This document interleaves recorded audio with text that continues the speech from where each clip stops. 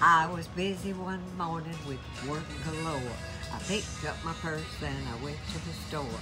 I bought 16 cans of feline food and I hope that's enough to feed my brood. When I got home there, the fat cats sat. They gobbled up the food in no time flat. Say, Peter, don't you call me, cause I can't go. I owe my soul to the jingle store.